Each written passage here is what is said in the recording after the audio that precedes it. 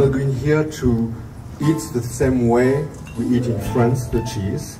And In France we eat the cheese between the main dish and the dessert.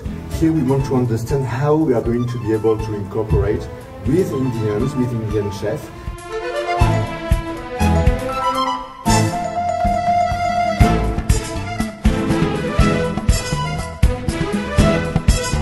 I have picked up the best of the French cheeses and I have, uh, I guess I should say, married them off to Indian cuisine.